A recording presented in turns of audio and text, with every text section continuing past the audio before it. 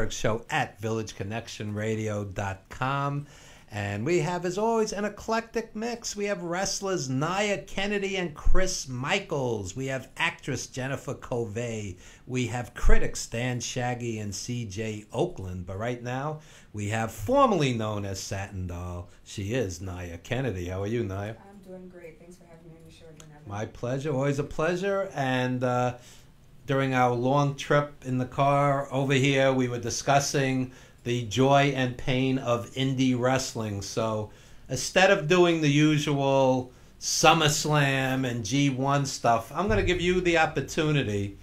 If you had a, a bunch of indie promoters sitting here and you have 30 plus years in the business, what advice would you give them? And I'm just going to shut up and let you talk. Wow. Um, one thing I would definitely would tell them is um, pay your workers for one. Um, I know a lot of them do allow you the opportunity to do uh, autographs during intermission and to sell their merchandise. And that is a good one, but also um, one I think there's I don't think there's any need for having more than I would say eight matches on a card because after that you lose the audience's attention. Um, for years in the business, we never had more than seven matches on the card. So that would definitely be one. Um, two, um, maybe collaborate from time to time with each other, so you don't have uh, four, five, six shows going on at the same time. Mm. I mean, for example, look at um, ROH and New Japan. They collaborated together and sold out in how long? Three days. Madison Square Garden. Madison Square days. Garden, twenty thousand seats. Yeah. Boom. That should tell you something. They came into your neck of woods and sold out Madison Square Garden. I find that uh, on any given Saturday in the New York, New Jersey area, and I'm sure throughout the country, there's a half dozen or more indie shows. They all compete with each other. Very few of them draw well.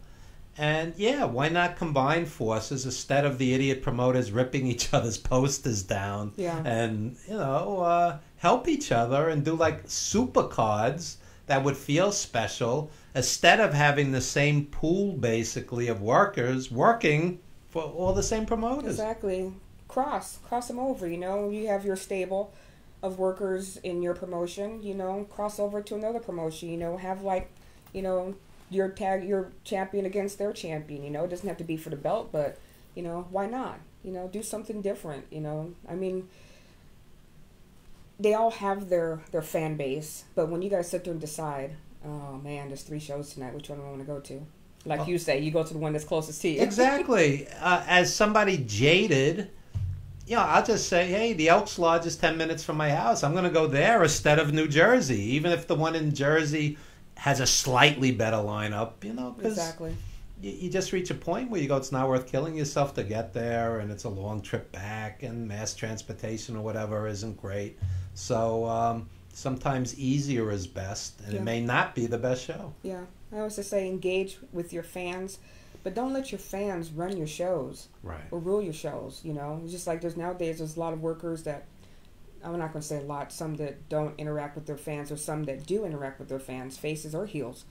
Um, but don't let a fan dictate how you should run your show. Yeah. You know, stay on the other side of the guardrail. That's what I say. Um, however, I think promoters have to get past the cronyism and nepotism and listen to the fans and go, Yes. you know, this kid's getting a great response. exactly. And my girlfriend or nephew or best buddy isn't. Exactly. And, yeah, that yeah. as well. You know, it's like yeah, you do listen to your fans to extent, but at the same time, you don't let them run Sure. what to dictate what your show should be. I agree. I but agree. yeah, definitely. And another message I would give to promoters is you not be the champion, you not be the main event, you not go through the table or whatnot because, you know, you're not necessarily the best worker or the most charismatic or even the biggest draw on the show. Exactly. If the point of doing a promotion is to put yourself over, I think you're starting in a bad place. Exactly. The promoter I worked for for years. I mean, he was in the show, but like he was a manager. He didn't get in the ring and wrestle. I mean, there was no reason for him to. You know, he got in the ring. I mean, he was on the sideline as a heel manager, did his thing, but he knew it wasn't about him. It was about the guy that was in the ring working. Absolutely. And that's the the problem. Like me being a manager, I know that with me being there, I'm there to aid, assist, and to help out my guy or girl who I'm managing in the ring. But at the same time, it's also what's going on in the ring. Sure. You know, and you see a lot of people who they forget that it's not about them; it's about what's going on in the ring. the late great Johnny Valiant, who was not only a tremendous wrestler but a tremendous manager and commentator, uh, he said the managers, you're the um, sugar in the coffee. It's not about you. You're. It's not about you distracting from the wrestlers. You're adding to it. You have Exactly. to pick your spots. Tell us the psychology of managing. as a manager, you're there. There's some different aspects you've been a manager um, to maybe assist and help maybe somebody who is a little green in the business to help them out Right. a little bit. Also to occasionally cause that distraction to maybe help your guy cheat a little bit. Right. you know, whether it's distracting the ref or if the ref is being distracted to, you know, pound on the guy a little bit, you know, which I do enjoy doing from time to time. And I've, I've taken my bumps and my falls from time to time. That's what happens when you put your nose in the business. But Steve Austin, uh, somebody had put a post up that Steve Austin did a year ago about the importance of managers in this business and how they should be brought back Oh yeah. you know, and it was a great post. I mean, I wish I had um, pulled it up and could remember what all he said, but he was talking about the greats like Gary Hart and uh, Captain Lou Albano, you know, how they added to. I grew up on aspect. Blassie Albano, the Grand Wizard, Jim Cornette, Bobby Heenan, um, Jimmy Hart. I mean, you know, these guys, and Gary Hart was awesome as Yes, well. yes. I mean, these guys really added to it. They really made it far more special. And today, inevitably, you have the beautiful female valet. And a lot of times, I don't think it adds as much. Yeah, I me it's weird because I kind of take offense to when people call me a valet because I'm like when I first started in the business, maybe yeah, I was before when I was. Well, I'm still talking training. WWE. I'm Yeah, not. I'm not yeah, talking about you. Yeah, but just in Yeah. general, you know, I do have Yeah. people that go, "Oh, she's a valet." I'm like, "No, I'm not a valet. Just because I'm a woman, that I, I can be a manager course, because I've course. been in that ring for years, taking the bumps." I don't think falls. anybody was better than Sherri Martel. No, Sherri no. Martel was great. She was great. I love Sherri Martel, Precious, Sunshine. Yeah. See, I the wouldn't look at Sherri days. Martel as a quote unquote valet. She she got in the ring. She took bumps. Yes. She was part of the show. She was. She Oh, was yeah. exactly, and she was one of my favorites. Her, Gary Hart, um, Paul Ellering, those are the ones that I truly like looked after. I mean, there's so many great managers, you know, that I could name. Bobby Heenan was great, but like a lot of people don't realize, like Paul Ellering and um, Gary Hart.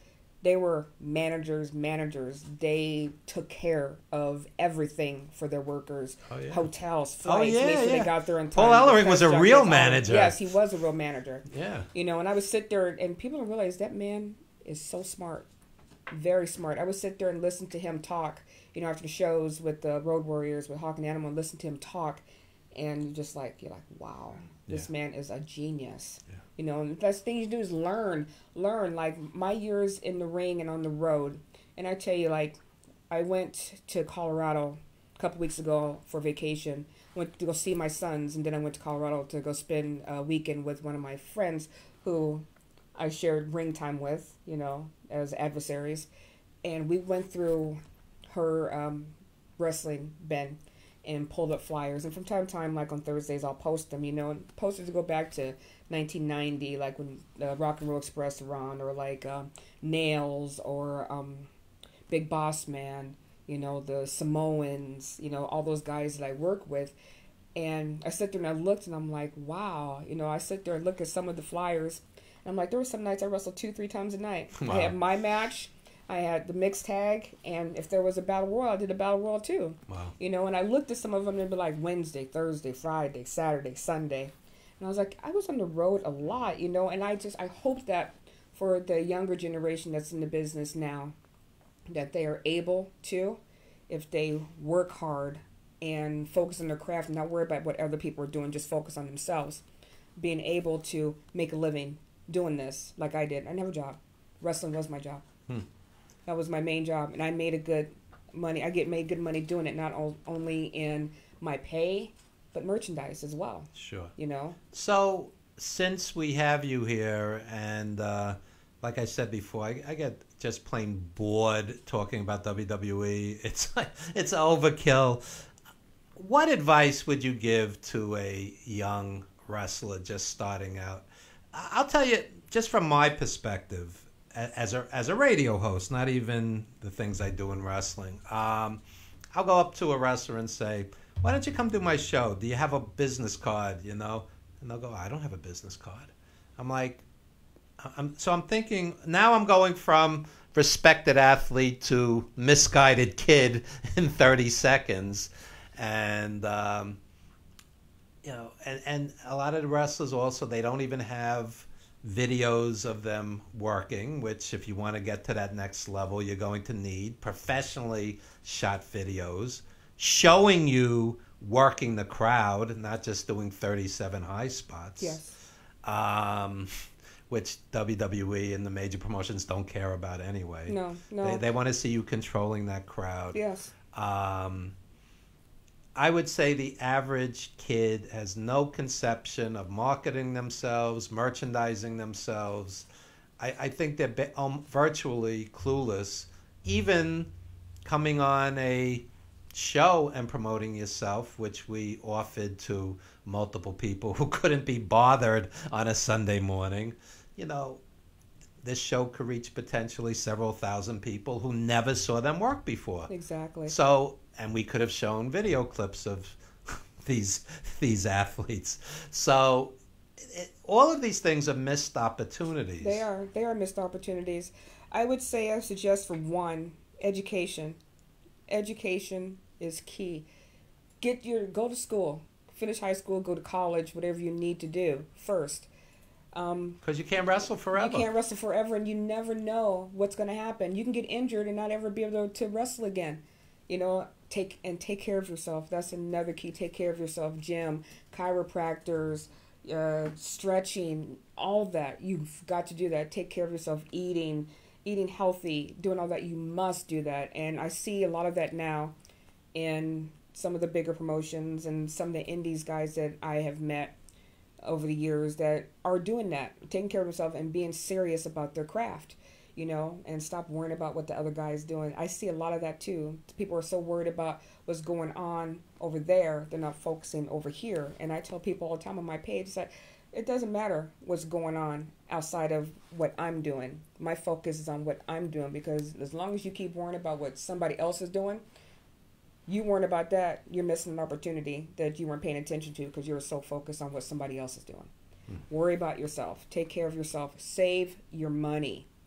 Please save your money. and put some of that money into merchandise. Yes, merchandise. any as of somebody who's been a vendor many, many times, people like different things. Somebody might like an 8 by 10 for an autograph. Somebody else might like a DVD of your matches. Somebody else might like a t shirt. Right. People are into different things. Exactly. Take some of that money and invest in yourself, of exactly, course. exactly, and that's what I'm in the process of doing right now. Because back when I was in the business, only merchandise you you you sold was pictures. Right. either color or black and white 8 by 10s and i can tell you in 15 20 minutes i made $300 in 8 by 10s Sure. boom that quick you know and you take you take that and then you take your your pay which you get per night and you're making more in one night than you would do two weeks working a, a nine to five job Sure. 40 hours a week you know and it's all about marketing and marketing yourself you know it's just like when i decided to come back to the business and manage i didn't take it half-heartedly.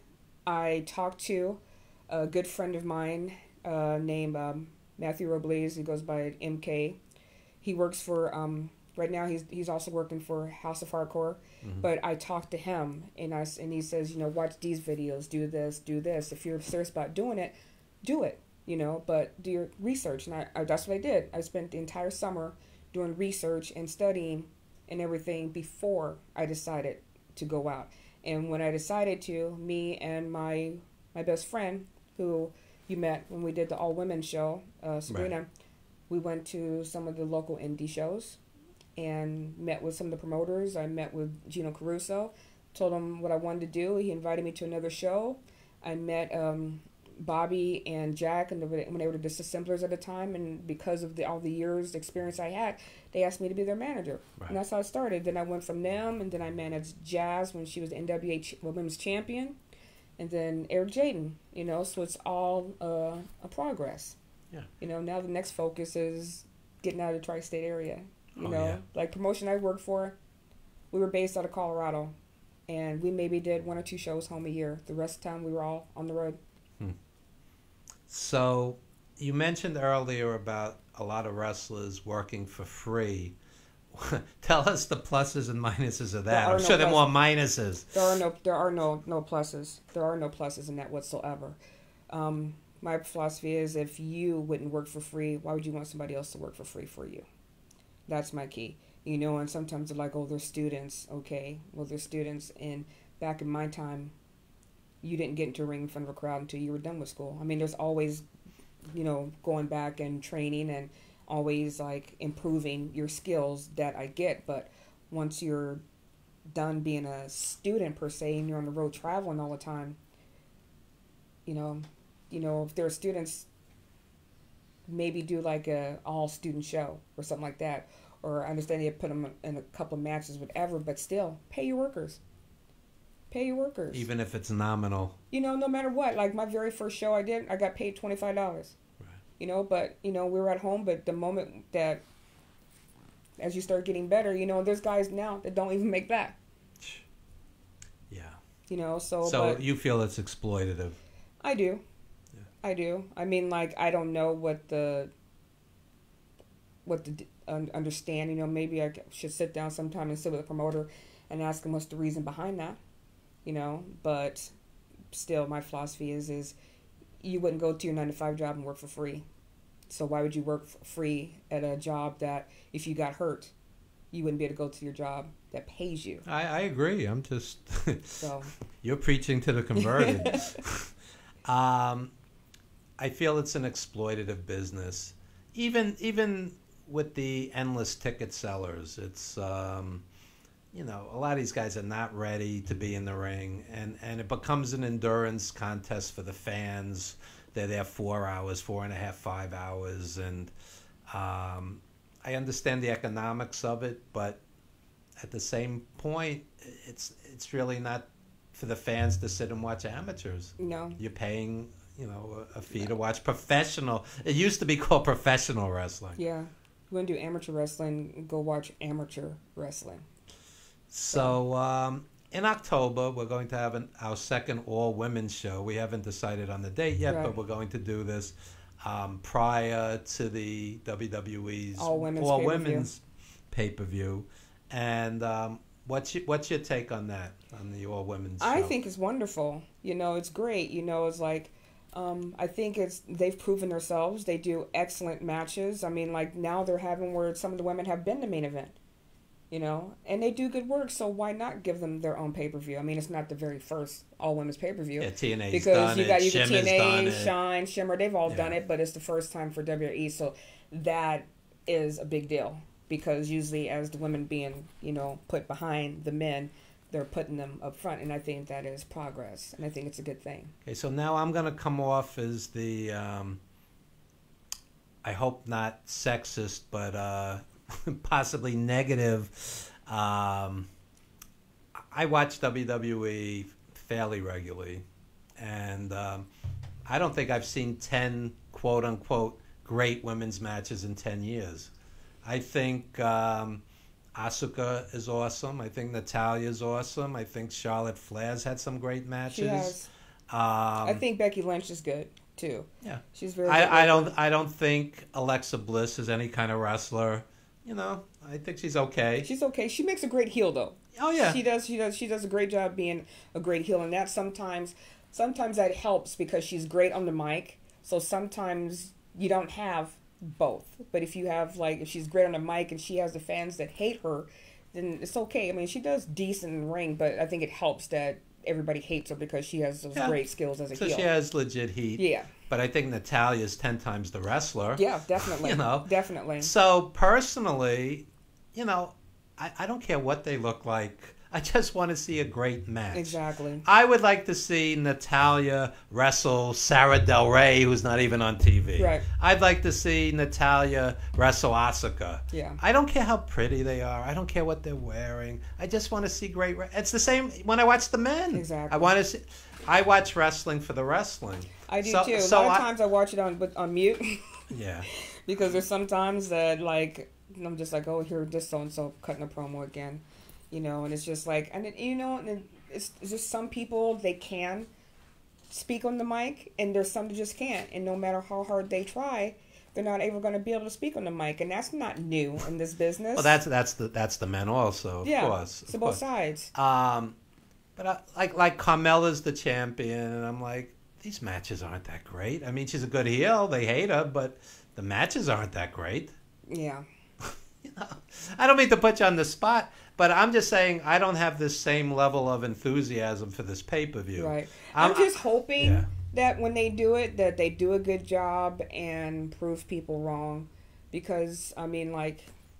I mean, the same could be said about some of the men's matches too. You know, Oh, it's Like some absolutely. matches, but you know, it's like we never know until we see. You know, because there's time and time again they have stepped up, and like and killed it. You know. Oh yeah. So I Yeah, guess I've seen all of them- Bayley in some real good matches. Yeah. Um, what I would like, getting back to something you said earlier, I don't think you need more than seven matches. No. and that's why NXT uh, takeovers are so good. They have five or six matches, and they all mean something. Yeah. I think that's what they should do with this pay per view, the Yeah. women's pay per view. Have have maybe six or seven matches with real feuds that mean something that are culminating on that night.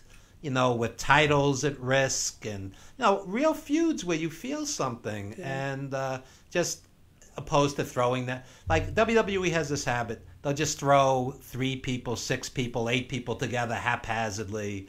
You know, where there's no real connection. And Yeah. what what is my invested interest? Why do I care who wins this? Let's throw eight women in the ring and just you know. I think what they need to do too is they should bring back the women's uh, tag team. belts. Oh, yeah. They have so many women in yeah, we- there. Yeah, we were talking about the jumping bomb Yeah. angels before. How great were they? Oh my goodness, them and But that's what I'm talking about. They can wrestle. Martin, yes, and you know the opportunity to meet these women at the last CAC show and sit there and talk to uh, Princess Victoria, who I absolutely adore. I mean, by the end of the CAC, I was calling her Mama, you know, and sit there and talk to Judy Martin and tell her how much you know her um, that match meant to me because it was a great match, you know. So, um, I think they should because there's so many women in the WWE that they need to bring tag um, have tag titles on Raw and on SmackDown because there's enough women in there. You can't keep Oh, yeah. having them fight for the same belts when you have so many different belts for the men to win. My favorite woman wrestler is Gail Kim. I think she's she she's beautiful and she can wrestle. Yeah, she had a great trainer though too, Ron Hutchison. Oh yeah, I know Ron. Ron's up in great Canada. guy. Yes, Yeah, yeah, yeah. yes, I love Ron. yeah, yeah. So uh, now I'm going to ask you the tough question. So brace yourself. Okay. You're a mom and a wrestler. Yes. Would you recommend to a daughter or a niece or uh, your best friend's daughter or niece or whatever the case may be to become a woman wrestler, knowing knowing there's a shelf life, knowing you could get hurt at any minute, knowing there could be permanent damage, knowing you could be future endeavored two years from now, whatever the case. Um, actually, yes, I would. Um, I would support them. Like my my granddaughter wants to be a wrestler. She's actually wrestling on her high school um, girls wrestling team in Canada. Every one of my job. audience just went, I can't believe she has a granddaughter. you don't look like you have a granddaughter. And in high school, I mean, Yeah. she's not my granddaughter by blood. You know, my my son and her mom are engaged to be married, but um, she calls me grandma. Oh. You know, I love her to death. She is. She'll be great in this business. I think she will. Um, like Esa es mi she's- vida. she started off with being um, a collegiate wrestler, amateur wrestling, which is going to just make her, you know, a diamond in the rough when she gets into the wrestling business. But and I told her the same thing that that Jake Roberts told her: education first. Good. Education first. What what about the fact that in WWE she'll be most likely working 250 days a year and the toll it takes on the human body? Um, if that's what she wants to do, I'm not going to like discourage her in any way. I just tell her like I tell anybody else, um, take care of yourself. Take care of yourself. I when I started in this business, the when I started training, my son was two months. Right. So literally, he was with me in the gym every day. The promoter would be holding him in his arms while I was in the ring training. Wow. I mean, as he got a little older, he couldn't go to the matches anymore because he thought that mommy was getting hurt. Yeah, and yeah. you know, like, and he would and he would cry. So I had to keep him He away didn't from like the fans booing mommy. No, or or mommy getting hurt in the ring. Yeah. so he didn't like that for a while. But then when he got older, you know, he got back into it again, and he wrestled for a while. I, I trained him, and then he he trained again for a little bit with um, the Beast uh, over in um, Iowa, or the Quad Cities, I believe, is where their training facility was. But um, now he's working on his career right now, working at the University of Iowa Hospital. So, and then my younger son, he um, is doing his thing, trying to be a filmmaker. So, so yeah, and they support me. You know, they support me. They want to make sure that I'm okay and everything's good. You know, and they're like, you know, make sure you follow the same thing you tell everybody else. You know, take care of yourself, invest. You know, like back in the day when I was on the road, you know, like as soon as I got home, the first person I called was my chiropractor. Wow. You know, come adjust me because like people don't realize, you know, all every time you take those bumps, those falls, like a you mini know, whiplash. It's like, yeah, it's like being in a car crash. So take care of yourself. And luckily for me, I never had any major injuries Hmm. while I was on the road. You know, I've pulled muscles, um, have had stitches from You had, you had a bad open. concussion. You told me Oh, I've had a few back Yeah, yeah. concussions. Yeah, I had a concussion one time, and um, Rick Rude had to carry me back from the ring to the locker room because I was knocked out. So, yeah, a few concussions, you know, and So, so Rick Rude passed at 40, yeah, 40 years old. We both lost a lot of friends in this business. A that's lot. A, that's another thing that takes a toll on people. yeah, it does, it does. But you know, it's just like you've got to take care of yourself, you know. But back then, you know, like we were going to shows and partying all night and then getting up and doing the drives again to the next day and repeating it, you know, going to the gym, going out partying, drinking, whatever. That was the lifestyle that we lived back then, Yeah. you know. But it's like you got to take care of yourself. Like I walked away from the business because for me, it was more important to be a wife and a mother Sure. that was my main priorities. You know, it's like I'm, I I can't trust my kids, and best my baby with anybody. So I stayed home, and then when my kid got old enough and got to school, and my husband at the time was okay with it, then I went back. I interviewed Sherri Martel four in the morning, four in the morning on radio live. I'll never forget. She said to me very sadly, she goes, "I've been on the road 15 years. I didn't see my kid grow up. I'll never forget it." Yeah, I didn't want to miss that, but the career I took basically did the same thing to me as a chef. I mean, like you work all the time, so like. Right. I got to see just only a couple of my older son's football games when he played football. least they ate school. well. Yeah, they did. They did.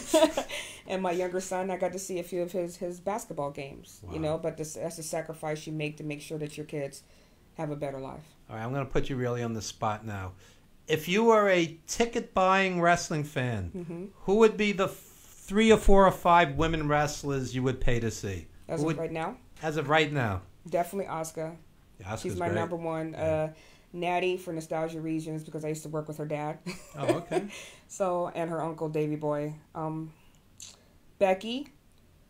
Um, I'm had I've been showing I some. mean, it could be in- indies, it could be Japan. In, it could be Tessa Blanchard, she's Tessa doing well. Okay. She's doing really good right now, and um, hmm, you know who I really like, and she's local, and she is killing it right now, and I'm so proud of her, and that's Allie Recks. Oh yeah, yeah. I would pay to see one of her shows. yeah. You see, when, when someone like yourself who's in the business and has seen the best of the best and work with the best of the best, that's a tough question. It Who is. would you actually pay to see, enjoy seeing, go to the trouble of seeing? So that that's high praise. Yeah. And one thing I like too is like another thing for me is to be a fan of yours because I'm a fan of wrestling. I've been a fan since very first time I turned on my mom turned on the TV and watched AWA and watched Nick Bockwinkel. How great was he? I was watching Nick Bockwinkel in arenas in his 50s and he was still great. Yeah. I mean, awesome. You know, I didn't understand it when I was a little kid, but I just knew that I was like, I was just mesmerized by him as a little girl. Just wow. See, he, you know what's interesting with him? He would get on the microphone and he wouldn't yell. Yeah. He would just very calmly, with a high level of vocabulary, Yes. tell you what he was going to do to exactly. the guy. Exactly. You know, because people say like, "Why are you angry?" Like when people would shout and yell in their in their promos, it's like, "Why are you mad?"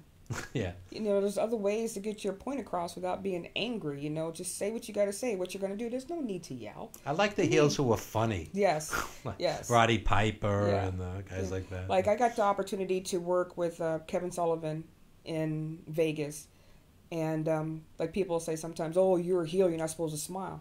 I'm like, I smile because I enjoy being sinister. It's a sick thing for me, you know. I smile. My I enjoy inflicting pain on people. So for me to smile, it's just like you wonder what's going on in my mind. Oh, she about to do some really messed up stuff right now. Kevin yes. Sullivan was great too. Yeah, he was. I saw Kevin Sullivan wrestle the original Sheik. Ooh. Going, that's That'd how far good. back I go. That'd have been good. But the one thing that will also have me be a fan of yours as well is attitude and not having an ego. Yeah. You know, why are you having an ego? There's no need for you to have an ego and to think you're better than everybody else because you're not. We're all in this together, you know. And I've met a lot of people in this business that have egos, Oh yeah. and I've met twice as many that did not. What's always interesting to me is you'll meet somebody who's incredibly accomplished, like a Nikolai Volkov, um, who was a dear friend of mine, and he um, was the most humble, Yes. nicest guy on the planet. And then you get somebody who's accomplished virtually nothing, Nothing. and the guy's an egomaniac. Yeah, and horrible in the ring. We were talking about that. I'm not going to name the person, but we were talking about that in the car on the way in. You know, it's just like you suck as a wrestler. Sorry, you're horrible. Suck as a human being. As a human being, and then you have an ego to back it up. You know, to have an ego on top of that, and there's just no need for that. You know, like they used to say back in the day, is like the hills were the nicest people.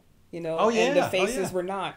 And I used to say, well, that's because the fact that the faces are bothered constantly by the fans all the time. So, you know, there's and, no and, reason. and part of it is the I, we're making generalities because I, I have friends who are faces who are nice also, Yeah. but but many times they need that applause. Yeah. And the heels look at it as I'm acting and I'm Yeah. doing a good job because I'm getting them to hate me. Exactly. There was no nicer person on planet Earth than Nikolai Volkov. Yeah, he was and he got them to hate him. Yeah, That's that's that's a great skill. exactly. You're going out there to do something. Like they say, if by the time you get to the ring, people don't know who you are, what side you're on, you're not doing your job. Johnny Valiant used to tell me, you walk down the ring for that minute or two.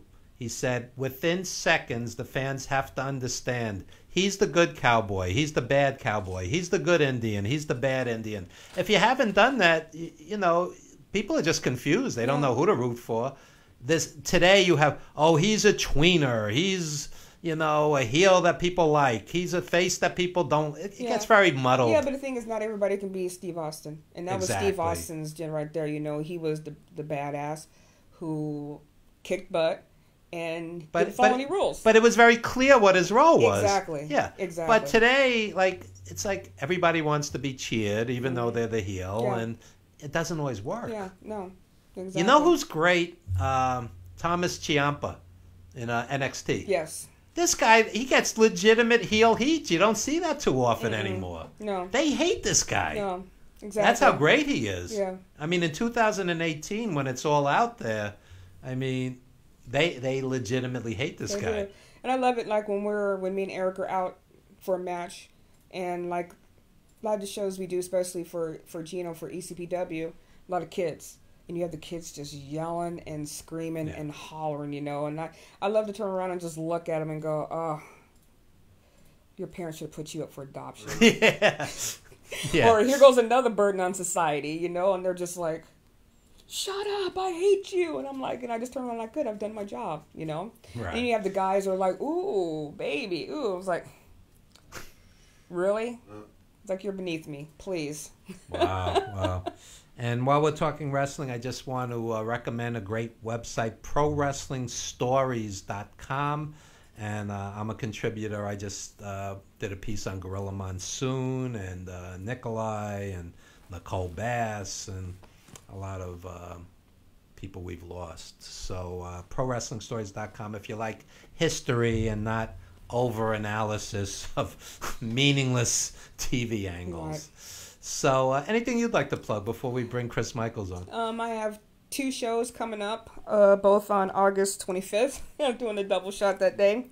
The first one is for ECPW at um, Broad Channel Athletic Club. Bell time is 7:30, and then after that, we're going to uh, Law Show at the Mayday Community Center. Um, Eric will be uh, going for the the LAW uh, title Eric Jaden. night. Yes, Eric Jaden. There you go. There you go. Any uh, websites, any social media you want to plug? Uh, Nia Kennedy on Facebook, um, Feisty All Day on Instagram, and Nia Kennedy on Twitter.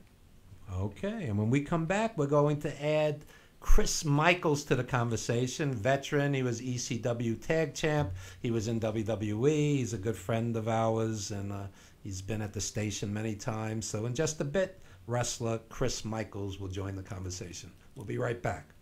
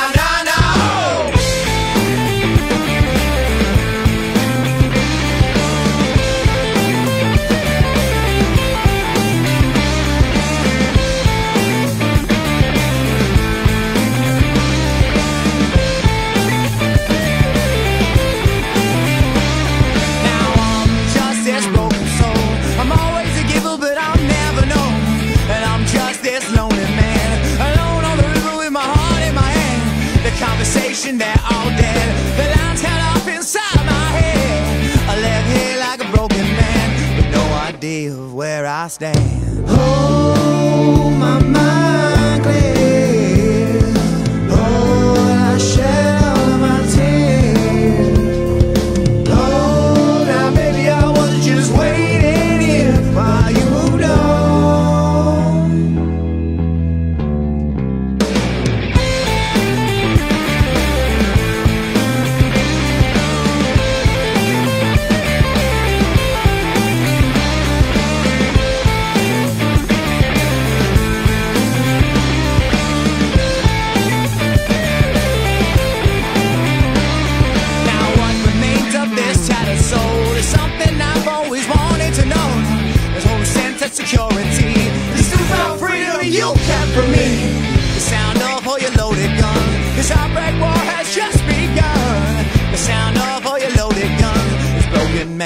Already won. Oh, my mind clear.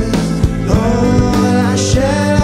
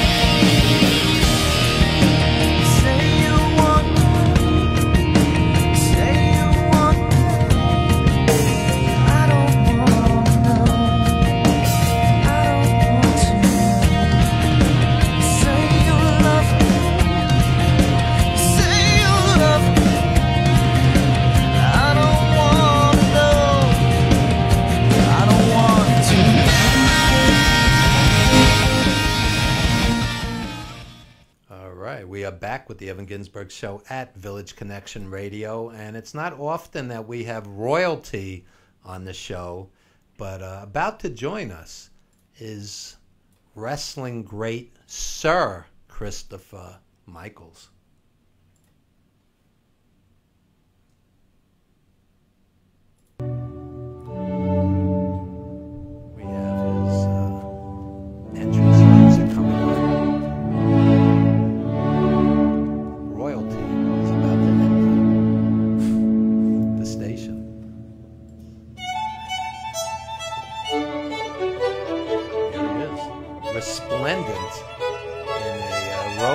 Designed by Adrian Street. Uh.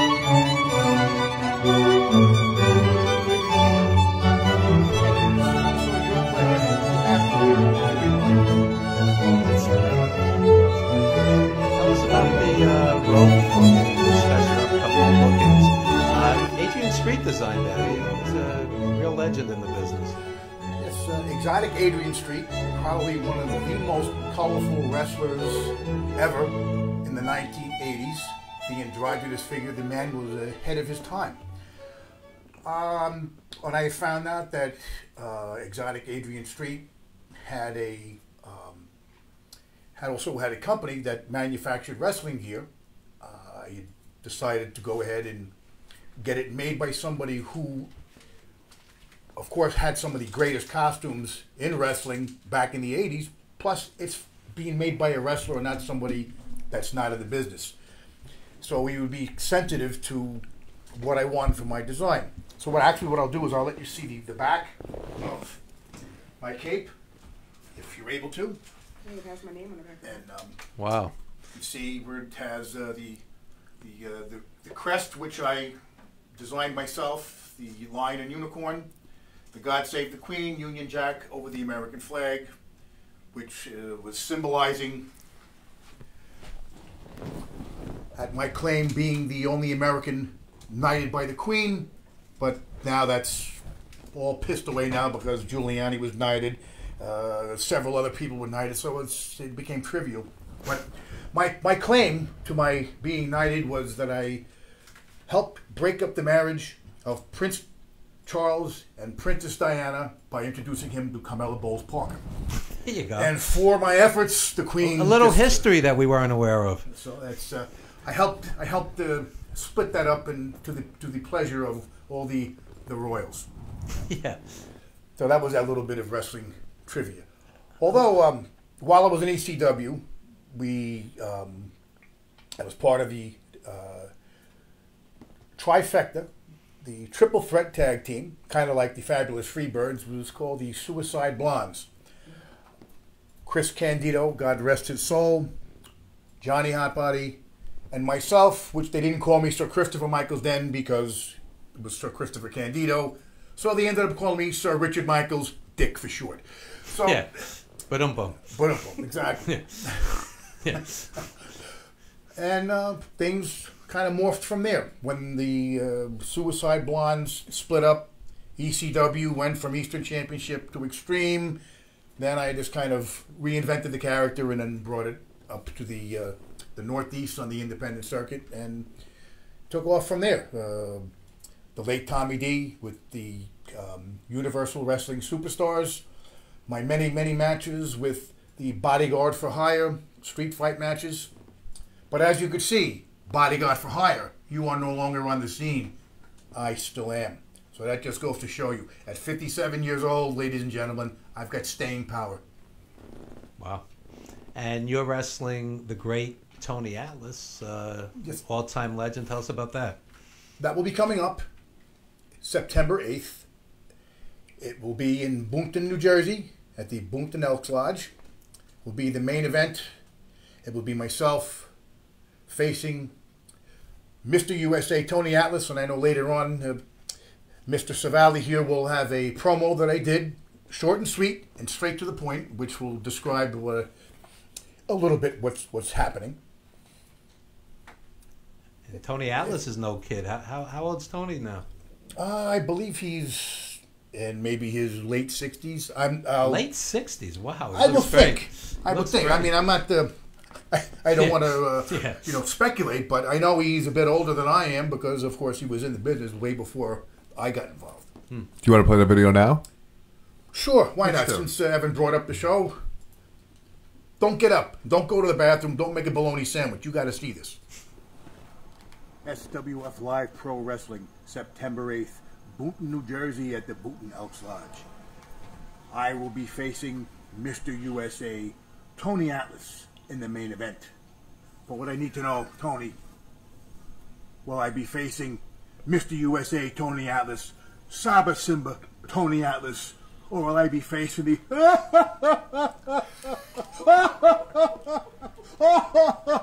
laughing fool Tony Atlas? Whichever one is coming on September 8th, remember one thing. You may not like me, but you damn sure will respect me when we are finished. Wow. Wow. That was intense. So um, this is out in Boonton. Boonton, New Jersey. Uh, SWF Live Wrestling. Um, little history behind that. The owner of the company, well, one of the co-owners of the company, Rob Fury, who is my wrestling legacy, my wrestling son, who I saw potential in and broke him into the business. And uh, never did I think in my wildest dreams that he would evolve to become a wrestling promoter and now having a legitimate, recognized wrestling organization in New Jersey. Yeah, they've been out there a long time, right? But about seven years now, he's been promoting and he's met. That's like dog years in wrestling. How many, how many promoters have lost a fortune in seven years? The guy's still out there. My- Still out there. Respect. He's got staying Yeah. power, and that's the one Yeah. thing that I'd like to say that I instilled in him is to not give up, and that's one of his mantras. That's why he calls himself Unbreakable Rob Fury. I've seen um, I've seen wrestling promoters get broken in one or two years, burning through hundreds of thousands of dollars. Right, Nia? Yes.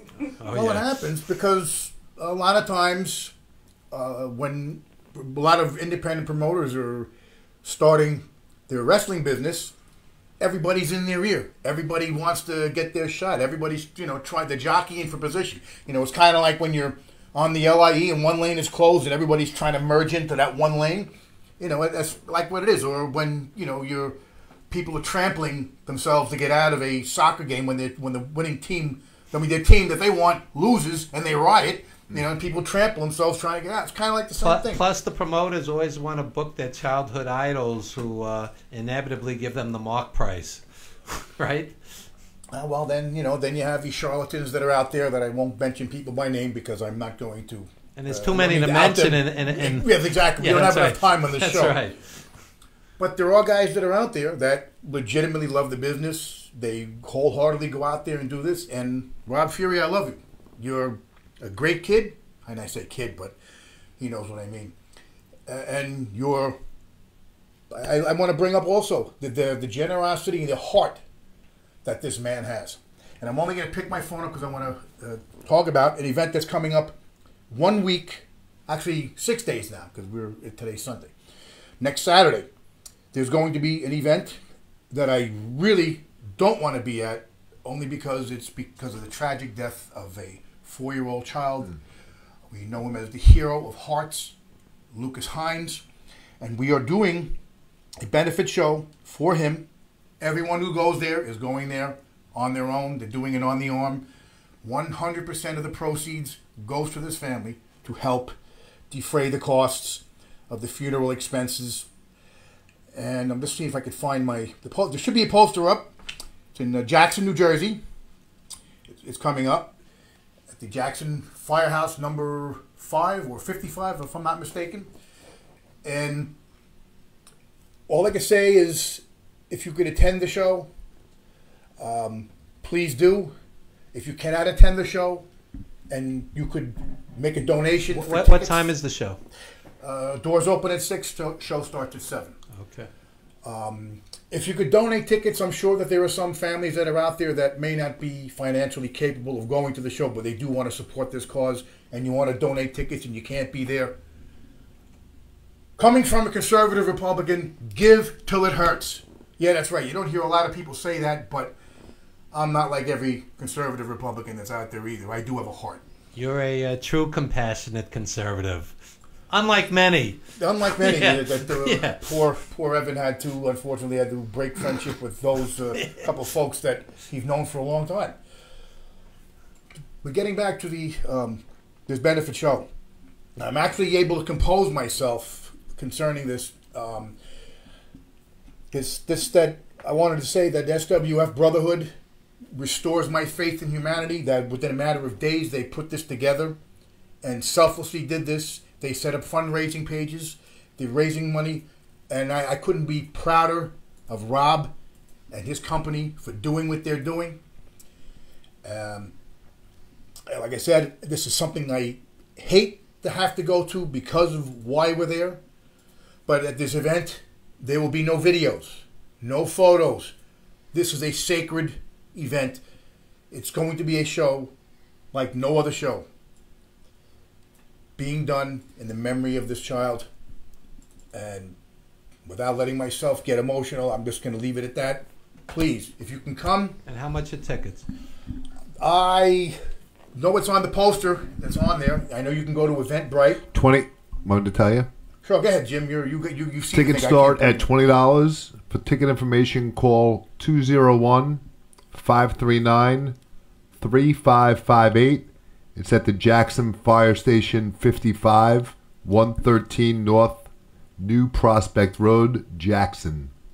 So for twenty dollars, you can support a great cause, see a great show, do the right thing, and um, it's nice when the wrestling community occasionally is a community instead of you, you, usually the promoters are killing each other. This is something we could all agree on and come out and support this. Well, I mean, if you were truly in this wrestling brotherhood, sisterhood, or you're part of the wrestling brethren, when one of us hurts, we all do. And in any wrestling organization, like I tell any of the young guys coming in here, if you're a veteran and there's a young guy or girl that's trying to break into business, trying to get exposure, and they seem to be the weak link, and you do nothing to help them, you're part of the problem. We're supposed to support each other because remember something, we are only as good as the weakest member of our team. And that goes with anything, whether it's wrestling, whether it's the military, whether it's your job, any place. If you do nothing to help somebody that needs help and guidance rather than laugh at them and point your finger at them and say that they're terrible, that's not supporting the cause. And ironically, sometimes people start terrible, and, and years later they they become great. Mm-hmm. You know, sometimes it takes time to develop, and the right the right person to mentor you. Well, you have to have someone that won't give up on you. Look, I remember when Randy Orton first got going, he was horrible. Horrible. And now But- it's horrible again. right. yeah, yeah. But I remember seeing a plenty of missed spots on some of these tapes that they did, and you know, because of the family name, he got a spot, which happens a lot. You know, you become a legacy. Now he's now he's uh, as good as anybody, but he's complacent and he doesn't leave it in the ring. I'm not a big Randy Orton fan. Well, I'm not that I'm saying that I was, but I'm just using that as an example. There are a lot of guys that just because of the father's name or the mother's name in the business, they get they get that uh, they get they get the push. The nepotism works. I heard you mentioning nepotism before, and that's nepotism in its finest. But at the same time, you can only help somebody who wants help and is willing to help themselves. Oh themselves. yeah, yeah. See, it, it's good when somebody's honest. I've seen kids like like Naya just said. You know, they're 18, 19, 20. They think they know everything already, and they're, they're not even listening to the veteran. You Well, some- that's the that's the ego. You mentioned ego before. This business, there cannot be no ego. Just like in acting, there are no small parts, only small actors. And whether you have a speaking line or you're just part of the An extra. the extra in the background, there was a necessity for you to be there. So it's like saying the person that scrubs the bathroom is some kind of a a low life, but yet if you were one of these people to go into a public restroom and it wasn't clean, some people would be the first to complain. No matter what you do, you have to have humility. I'm doing radio 27 years. Somewhere there's somebody that's done it 47 years who could teach me. No, seriously. You always can learn. of Always. course. Always of learn. course. you know, uh, just because you have time in the business, sometimes you get jaded. Um, sometimes you, um, I guess, get to the point of where you just had enough. I went through that a bit ago. I dropped off the scene. But I thought to myself, you know, I dedicated a great part of my life for this. I sacrificed a lot for this. And I've got grandchildren that I would like to see me in the ring.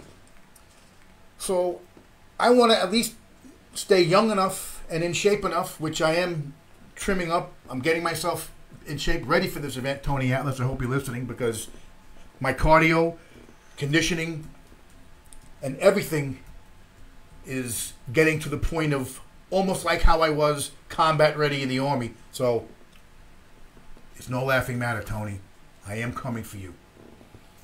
And let me just say one thing as an old school fan, and Naya, jump in. The fact that you have a beautiful professional robe, it, it immediately gives you credibility walking down the ring as opposed to some kid in jeans and sneakers or whatever the case may be. I mean, Well, right, well, it's- Naya? Exactly. He looks the, he looks like a main event wrestler. Yes, he does. Well, the thing I try to stress to these kids is wrestling gear is not coat hanger ready in Walmart. yeah. Oh, you have to invest in yourself. It's like an auto mechanic that has a pair of vice grips and a socket set and he wants to fix your car. If you don't have a whole snap on tools uh, tool case filled with tools to fix a car, you're not a mechanic. You're As a handyman. As a vendor, I've had wrestlers at the merchandise table. I think they're kids from the high school. I don't even realize they're wrestlers. They don't look the part. It's because, and I've bemoaned about this on earlier shows, especially in New York State, they took away licensing of professional wrestlers, and that to me has destroyed the indie scene in New York because there is no measuring stick. You at the time when I broke in, you had to be in a recognized, legitimate wrestling school that was recognized by the New York State Athletic Commission. You had to go in the ring and train, like Naya had said. You had to train for sometimes, like for Johnny Rodz School, you had to spend six months outside the ring on a wrestling mat, locking up, pushing off before they even let you step inside the ring. Uh, uh, something just popped into my head. Let me throw this out there. So, um, Naya, we were talking about women's wrestling before. Sometimes I'll see a lady wrestler on TV. She's 90 pounds, and, and she doesn't look credible to me. You could kick my ass. She can't. What's your take on that? When I started in the business, Yeah. I was 105. Okay. But I, but for me, it's all about um, perception. You know, doing the moves. You know, it's like you don't necessarily have to be the strongest, but what if you're the fastest? Okay. You know, and big the quickest is doing moves. well, Rey you know? Mysterio got over. Exactly. But but it's still harder to have that credibility Yeah. if you're a little tiny, you know. Yeah, like I, when I when I was first started, like I wouldn't get in the ring with a 200 pound woman because, of course, the they expect her to to beat me. Right. You know, so it's like, so what is your offense? Okay, so they're bigger than me, so how about I do some fast moves and tire this person out? Right. So, but it's all about perception. But yeah, 90 pounds, no.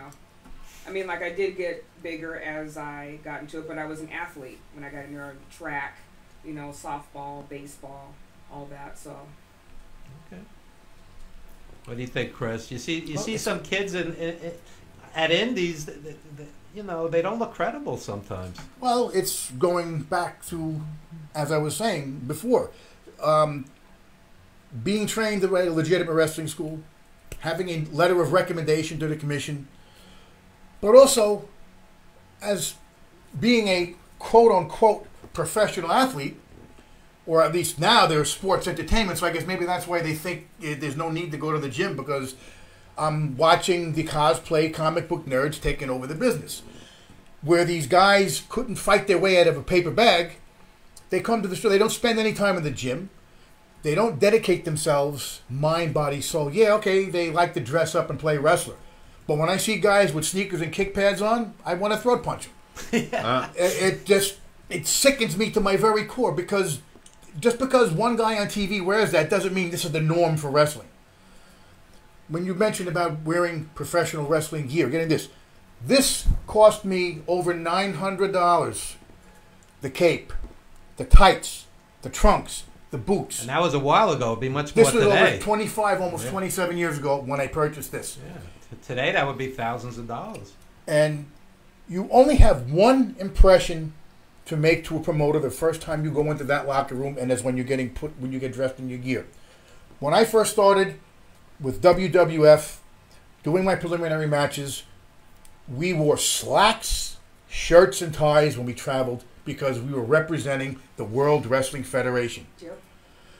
I was just a new kid, just got my foot in the door, and there was a guy by the name of Phil Apollo who wrestled on ICW, with the uh, Savoldi's promotion years ago, that said something to me, stuck with me to this day. He goes, If you look important, you will be treated important. So when I go to an event and I see these same guys you're talking about, the kid that looks like the librarian that files the Dewey Decimal System comes walking in, Yeah. and he's traveling with a wrestling bag on wheels, pulling it right away. That just that tells me I laugh when I see these 300 pound big strong men, these wrestling guys traveling with a bag with wheels. I laugh. When I was in the army, I used to carry a 90 pound rucksack on my back, sometimes with a mortar plate. And these guys can't. You're supposed to be a legitimate tough guy. You're walking with a bag with wheels. Come on. Well, that's the norm now. Everybody does that. I'll still throw my duffel bag over my shoulder and do it the old school way because that to me is, is the way I is the way I like doing things. I, you know, sometimes old school is the best way to go.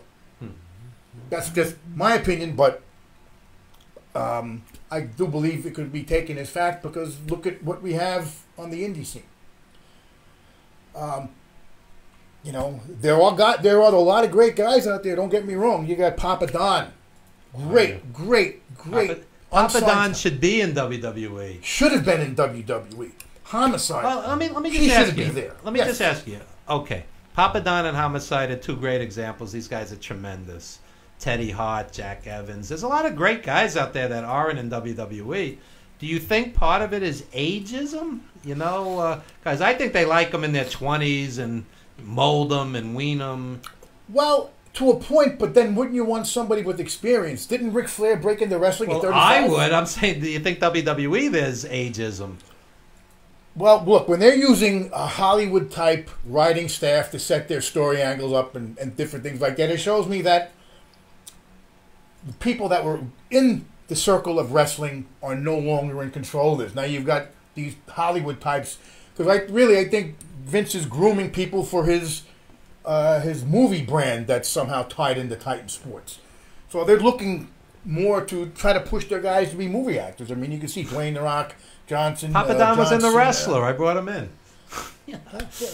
Anyway, you know, these guys are worthy of a spot. They're tremendous wrestlers and they're veterans and they know what they're doing and they're reliable and I, I, don't get it but they look the part. Yeah. That's the that's the difference. A lot of people don't want to take the time to go to the gym. They don't want to take the time to eat right. They don't want to take the time to promote themselves. They don't want to take the time to invest in themselves, like buying professional gear. This is what the problem is that we have now is like I said, they're cosplay comic book nerds that, you know, it's Halloween 365 for them. Right. A quick, quick question because we're running out of time. Um, on the indie circuit, we all travel the indie circuit in different for different reasons. Um, Mike Orlando's going to make it. Who else do you see that's going to make it in this business? It's I'm asking, I'm asking both of you. Well, for me, I don't, it's kind of hard to say for me because you really don't know what they're looking for. You know, look, this James Ellsworth kid got that big push because he just looked like one of the monkeys. You know, had no body. But he's perfect at what he does. That's a Yeah. comedy role. Exactly. Yeah. Yeah. Exactly. Like Playboy Buddy Rose, big fat guy coming out there with the muscle poses and everything else. You know, But it- Buddy Rose, early '80s, didn't didn't look like Right. that. When he was Right. wrestling Backlund, he, he was in decent shape. yeah, the later Playboy Right, right, Buddy. Rose uh, look was a bit different, though. But you you both are on the indie scene regularly. Who do you who do you see as a total package that that could make it in this business? Male or female? I can definitely see um, Allie Recks making it. She's sure. already been on T, uh, TNA, right? No, Or Ring of Honor. I think Ring of Honor. Ring of Honor. Yeah, she, Possibly. she was in one of the major groups. I've Yeah. seen her. Yeah. Yeah, she's definitely doing her thing, holding titles everywhere she goes. Yeah. Um, for men, I could see um, Eric Jaden. I think with the issue probably be age would be anything for him. But yeah, I think if they gave him a ageism's an issue in in, Yeah. in, in But I think if they give him a chance, that possibly he could make it. I, he'd be perfect in WWE because they like characters. Yeah. That's a, he has a great character. Yeah, he does. It might be a little over the top for their brand, but you know there are there's Well, an indie they, they promotion could now. they could tone it down, but he, he's a great character. Oh, they like oh characters. absolutely. From his earlier character to now, the gimmick and what he's wearing now is so much better than what he did a few years back. Yeah. Um, There's also an indie company that just came out called Wrestling After Dark. Also, uh, Rob Fury's involved with that, 21 and over. So it's going to be a more of an adult theme kind, and I think Eric Jaden would be perfect for that group. He should be the champion. He'd, he'd be perfect for that. I, I like Eric's stuff. Definitely. Yeah. Well, because it's it's because it's it's different. It's not like everybody else. Well, the thing, the thing with Eric is it's legitimately funny and entertaining. Sometimes somebody's just a character and you go, "This is stupid." Yeah. The guy's Right. entertaining. And absolutely. he's always um, making sure and working to make sure that he evolves. Yes, he, That's the important thing. Is and he listens to veterans. Yes. Keyword listens. Yeah. Sometimes there's a reason why God gave you two ears and Yeah. one mouth. Yeah. So listen twice as hard as you talk. And we, and we, me and him, we work great together because I know what he needs. He knows what I need. We get together. We don't argue about things. We discuss it, and I do what he needs me to do. And he's solid in the ring. Exactly. Yeah. Absolutely. Yeah. Absolutely. I would love to see him make it. It would do my heart good. But like you said, the ageism thing.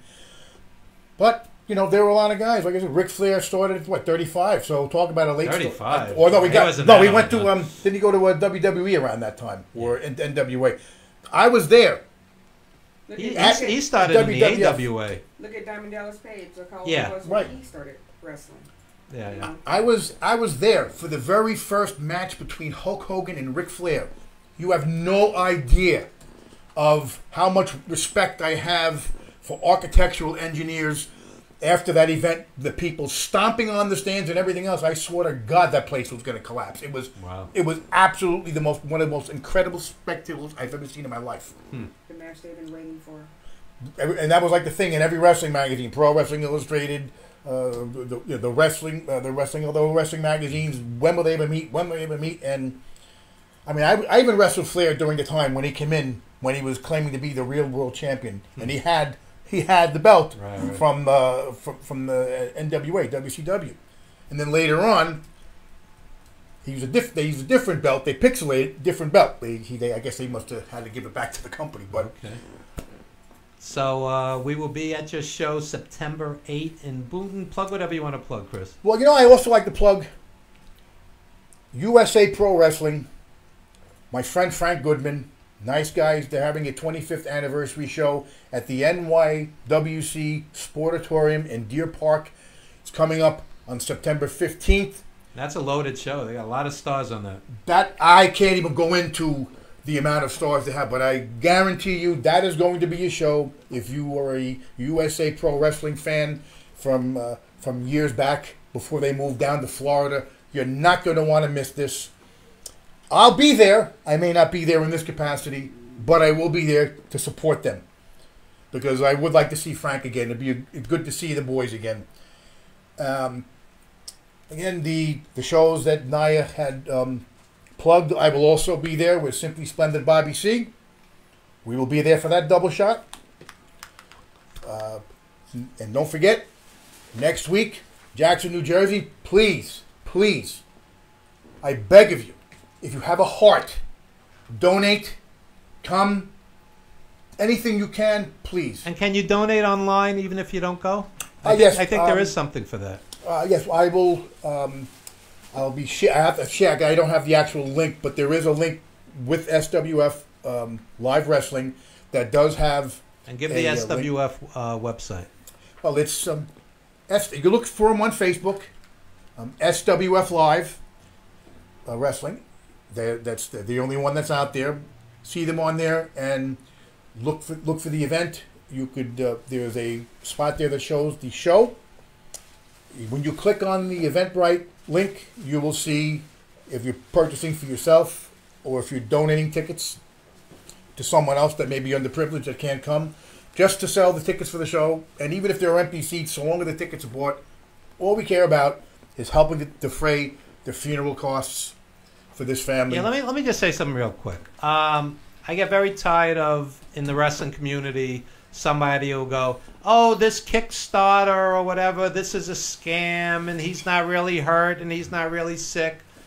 This is a four-year-old kid who died. This is legit. Support it. Support it. You got eight hundred dollars for WrestleMania. Throw twenty or thirty bucks in the till and help the family out. Come on. You know, it's, it's, it's easy to rationalize being cheap, but this is worth Yeah, supporting. Well, definitely. when you're doing something good. Doing something, you know, sometimes giving the last dollar in your pocket to someone who doesn't have any money does more for them, even though you gave them your last dollar. It's the only dollar they might have. I know wrestling fans who go, I never give to a Kickstarter because it's wrestling and it's a work. I go, no, this is legit.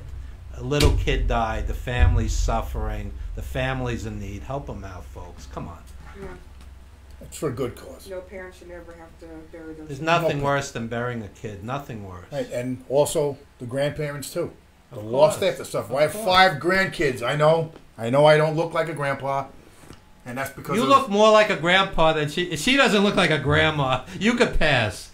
Yeah. Well, if it uh, wasn't for just for men uh, beard paint Yeah. and um, and uh, Nutrisse hair coloring, because I don't bother with that just for men stuff because uh, the female product is a whole lot better. Trust me.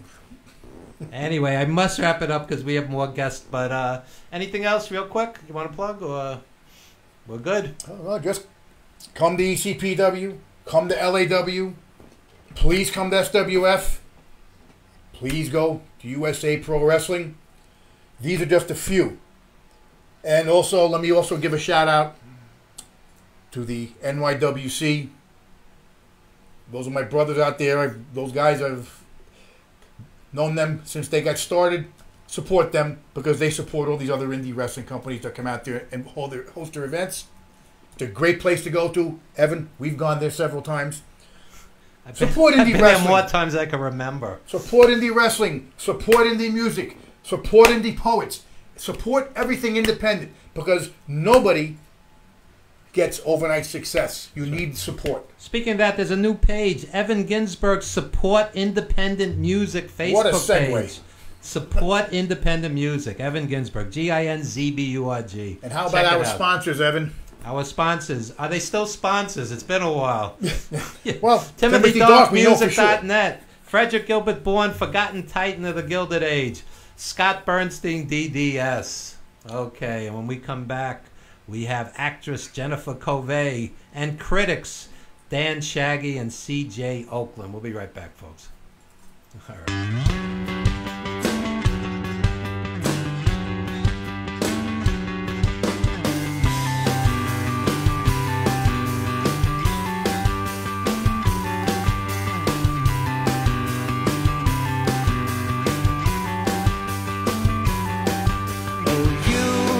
Got me good in a hole that I just can't diffuse. But I know, oh, oh, oh, the tricks up your sleeve. Cause you, you and I used to sing just to pass by the time. And I can't let go oh, oh, oh, without a partial thought to where our song may flow. Some ring away, but the echo of yours seem to stay. And lately, when I listen close, what I hear may be fake. See you be real now, and I'll be honest. That what we've got here is truly harmonic.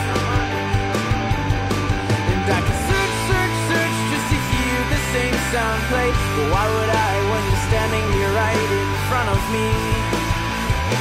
Truly harmonic.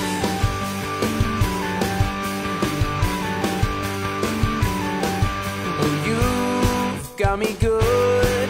It's a concept I just can't refuse. But you had to see through what seemed without flaw.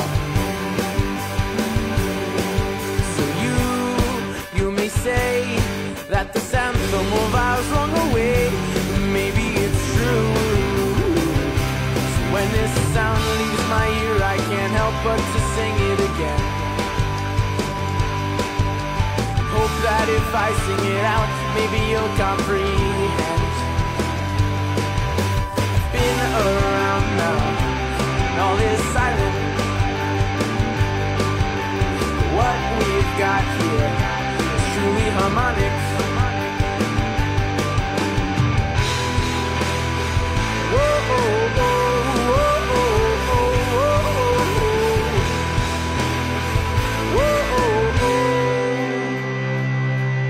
So when you think, think of me and the lyrics that we used to sing and take them for mo, oh, oh, then what they appear.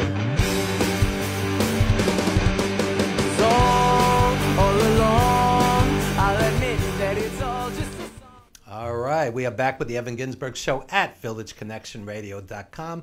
Jim Savali at the helm, our owner and engineer, and uh, we are joined by actress Jennifer Covey and uh, critics Dan Shaggy and C.J. Oakland, and uh, you guys have been on my show before.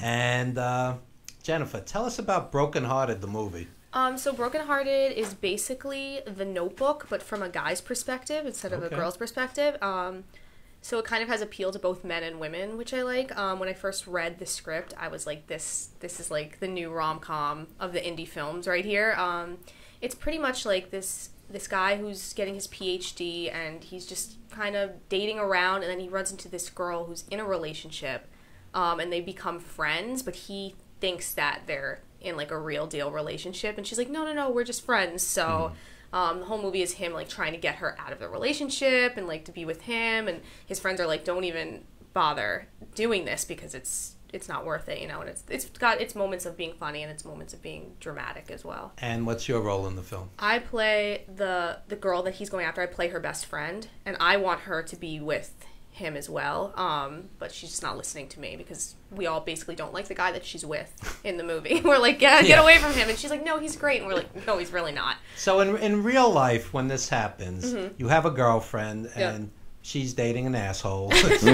what what do you do? I mean, it's an awkward position. I've been in this position Yeah. many times. Right, right. The first time, I basically said my piece, and it did not go over well, and she's not with him anymore. But like.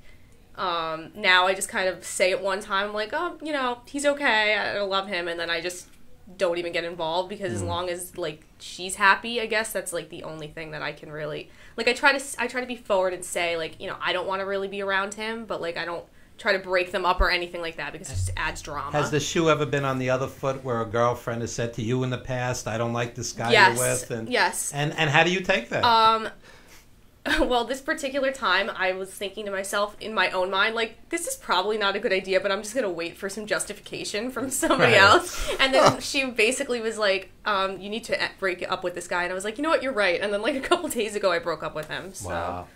I'll tell you a funny story. Um, I was dating a Korean woman, and um, my mom and other people like, "You better be careful. It could be a green card thing." And we've been married ten years. So, married ten years, so it was not a green card Okay, thing. So sometimes people care and they give you bad advice. Right. Or they So- just, you know, sometimes people are looking at them from the outside, just being like, just be aware. Like, they don't necessarily mean it to be rude, but they're like, Right, you know, right. not everyone's nice. So. But it is. So it sounds like a film that's based in reality. Which, Yes, absolutely. That's yeah. why I love it. Like, I mean, there are a lot of great fantasy movies out there, and there are a lot of great, um, you know, historical movies and things like that. But the nice thing about this one is like everybody can relate to it a little bit, and I mean, I think that's why people like things like The Notebook too. But this Personally, I get tired of stuff blowing up. I get tired of car is, and we were chases. just talking about that a minute ago. I, I, I was just at the Kew Gardens Film Festival. I went for several days in a row, and there's so many quality indie films, and some find their audience and some don't. Right. And um, yeah, I'm a filmmaker in my own right. Know, I was one of the producers on The Wrestler with Mickey Rourke, and um, so you know it's tough out there. It's very tough. So I think when you start with quality, something everybody believes in, Right. something that's credible. You know, I hate when I watch a movie and I go, "This would never happen." He would never say that. She would never say that. That's what I loved about Yeah. this is like there were so many scenes in it that you know even in a different context I had kind of been in the same situation. right. so you can Um, relate to it. Yeah, I mean, and my character in this film has her own story arc on the side where like she's kind of in like um, a friends with benefits situation, but she's so worried about like her friend that you know the other girl says like, oh well, what what about you? You know what I mean? Like, is this a do or don't kind of situation? And then you know my character Stacy, she goes and and she decides, and they get into an argument about it, and but like everybody can relate to that too because they've everybody's been in limbo at least once or twice where they're like, okay, are we official? Are we not official? right, you right, know, right. so Oh, yeah. Yeah. and that's like a I, whole I've, different- I've been there. I've been yeah, there. exactly. So, so Dan, what was your role in the film? Uh, I was just, I was, well, first I was uh, second AD, then I became first AD because, like, many things happened. So he promoted me up. He was like, hey, you've been coming to the, and helping out a lot more than everybody, like, a, a good percentage of, like, parts of the crew. And I got promoted quick, very fast for everything. But um, basically, I was just doing sound. I was doing uh, little things, like, little touch ups here and there. Like, I know, uh, I think it was one scene I had to like go and like like Joe, this doesn't look this way, or um, I had to remember exactly where they put a cup every single time. So it Oh yeah, yeah. like, oh, Continuity. People for Continuity, don't, not yeah. realize how Oh, many yeah. takes it takes just to make sure that like one little flower was like the Yeah. exact same way in both. I'll tell you a funny story. I was acting in an indie film. We were out in Washington Square Park. It was bitter cold. Outside all day. Guy did 18, 19, 20 takes. So the associate producer walks up to me and goes, Evan, what did you think? And I go, You want to know honestly what I thought? I go, Maybe on a bitter cold day after the 20th take, they could offer you some tea or some coffee and not treat you like meat. And I, Exactly. I don't think he expected to hear that, but to me, acting is is like a hobby. I'm Yeah. more on the mm-hmm. the producer side. Yeah. So every once in a while, I'll do something for the fun of it. So I'm, you know, if somebody asks me, I'm not. We actually had a day like that um, because we we just wrapped filming like two weeks ago. So a lot of this was between April and July, and there was that one weekend where it was like 105 degrees every Yeah. single day. And of course, that has to be when my scene is taking place in the fall. Right. So I was Right. wearing a leather jacket, And you're boots. pouring sweat, yeah. Oh, it was so hot, and it was like, and it was nighttime too. and It was still like in the mid 90s, and I'm like. at- Between every take, I'm taking off the leather jacket. I'm like fanning myself. Yeah. And he's like, "Okay, now you're cold." And I'm Yeah, like yeah. sitting there Yeah. with this jacket. So you're suffering for your art. Exactly. So, so CJ, as somebody who's seen a zillion movies, what do you recommend um, filmmakers when you have a quality indie film? How do you? How does that film reach its audience? Find its audience? Um. See, now I wasn't prepared for that.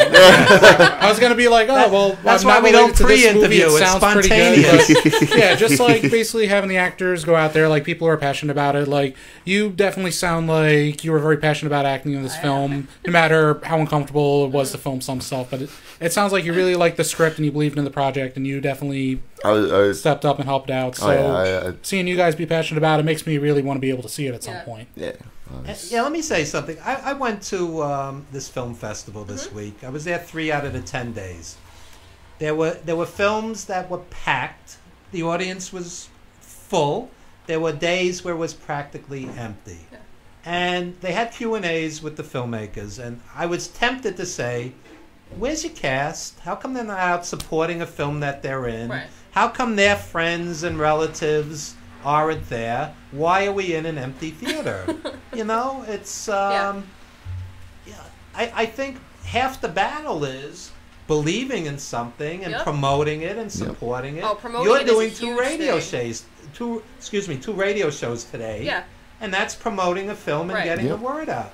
And I think people like they they default to one kind of promotion or one type of marketing. Like they'll just do everything on Instagram or they'll just do everything in person. They'll just do everything on radio. But I think a lot of it is like getting to different groups of people. Do you know what I'm saying? Like not Oh, everybody that listens to the radio is also on Instagram or vice versa. You know. Plus, so. the website is preaching the, to the converted. You Yeah. have to reach beyond, exactly. you know, your social media. Yeah. yeah, because So today, whoever you reach on my show, whoever you reach on Under the Radar coming up, Mm-hmm. Yep. you're going to reach new people, and your enthusiasm, both of you, Yep. is going to make people say, "I want to see this film." yeah, no, it's Yep. I'm I curious. I'm totally curious agree. to see it now. Excellent. You just Yeah. type it in on Google. No, Or there's a website for it too. So Yep. And I, I think uh, he well he's in he's right now he's in uh I guess post production.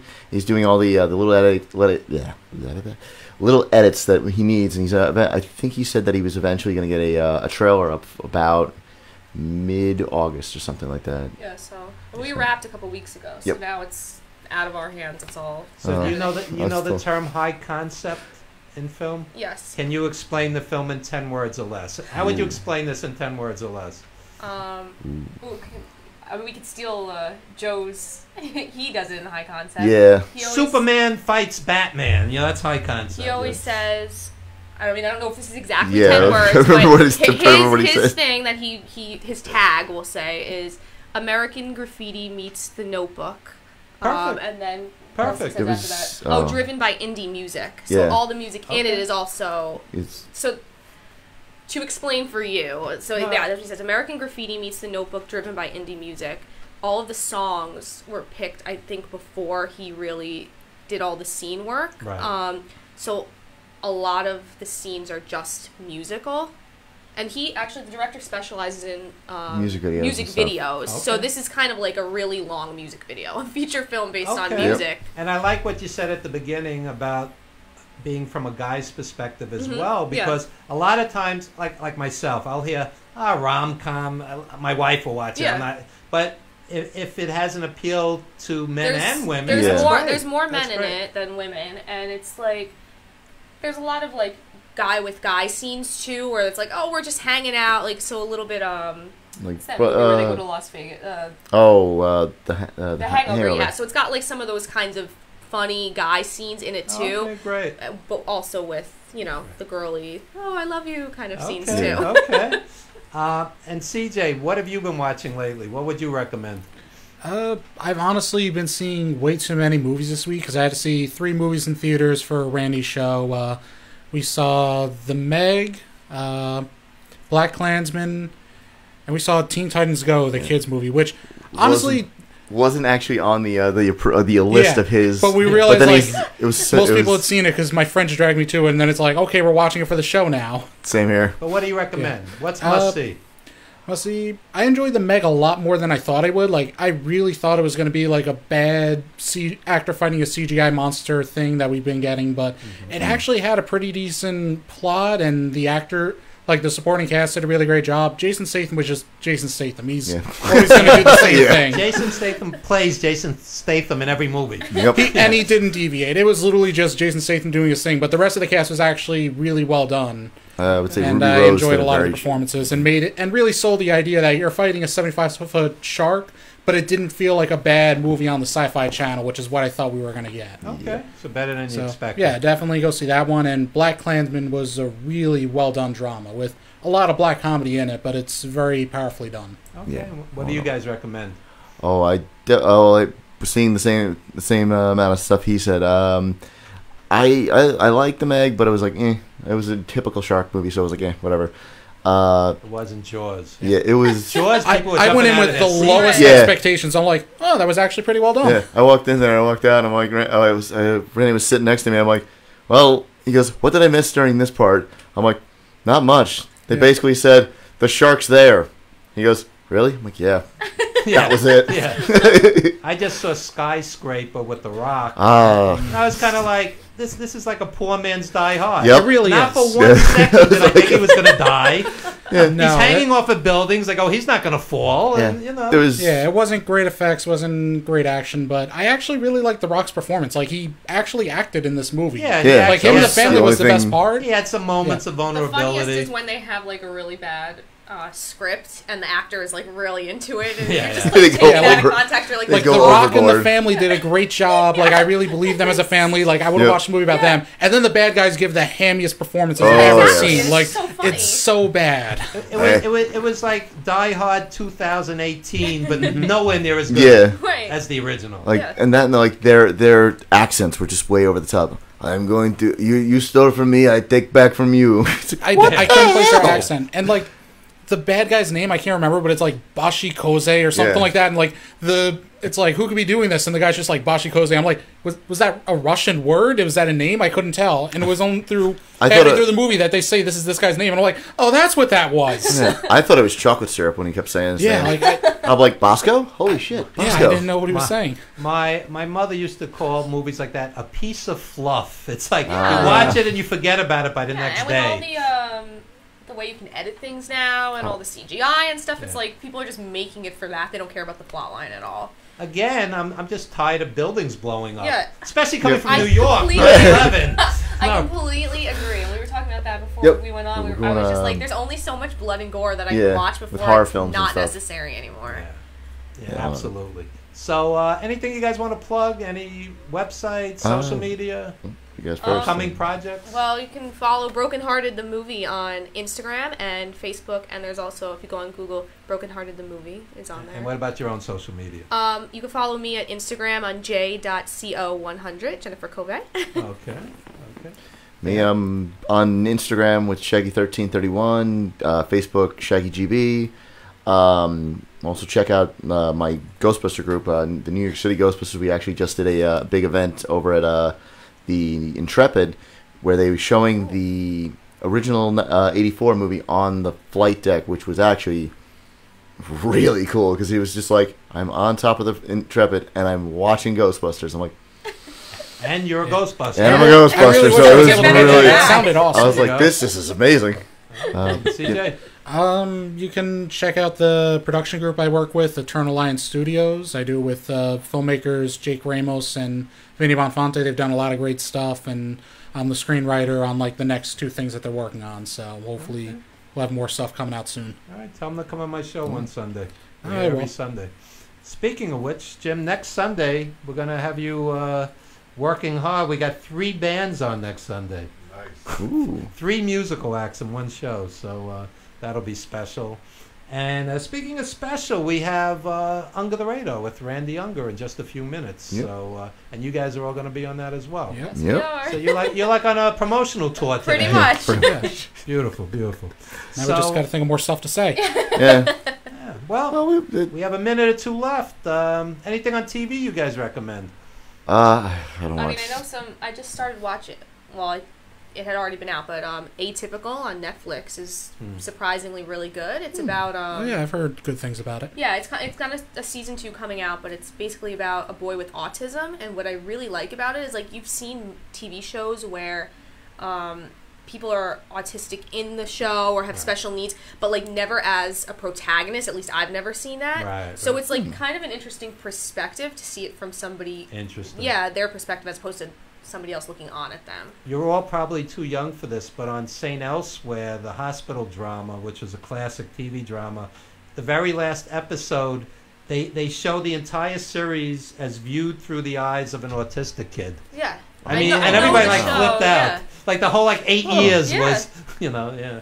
Yeah, it's like that, but it, Oh. not quite as dramatic as St. Elsewhere. right, right, Yeah, right. it's nice seeing a show where it's like they really look into it and respect it and do it. Yeah, uh, but it's, it's coming Yeah. from Well his done. perspective Yeah. the whole time, so it's like kind of nice. It's not like, oh, this is just my sibling that's like this or whatever. Yeah, It's not like pulling a what was it? Um, what's eating Gilbert Grape kind of thing, where it's like, okay, we're focusing Yeah, on him, but we're exactly. mainly focusing on the family. right. Dan, what are you watching? Anything Uh, TV worth, worth seeing? Well, no, I I haven't watched TV in a long time. I've just been like watching YouTube and stuff. Okay, okay. but there's a lot of CJ? different YouTubers. Uh, same here. I've just been. I've only got to watch like a few shows. Like I watch uh, Preacher on AMC. I've been really enjoying. Do a good job adapting the comic book series from the '90s. Okay, okay. So that'll about do it, folks. Um, actress Jennifer Covey and uh, Dan Shaggy, C.J. Oakland. We'd also like to thank wrestlers Nia Kennedy and Chris Michaels and uh, Jim Savali, uh, our fearless leader. And Yep. uh, that should about do it. Randy Unger's Unger the Radar in just a moment. Stay tuned for that. This is the Evan Ginzburg Show. Always an eclectic mix here at VillageConnectionRadio.com. Signing off. Are you alone?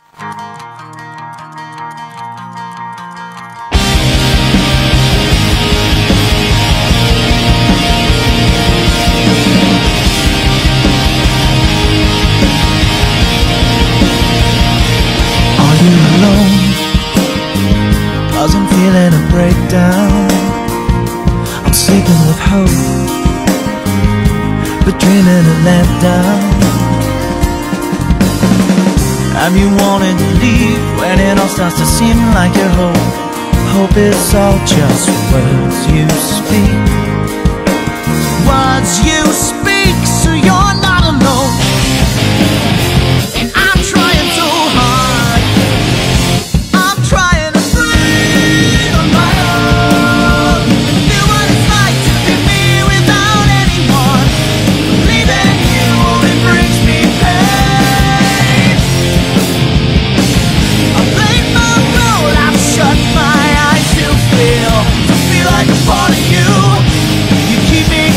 just to keep me.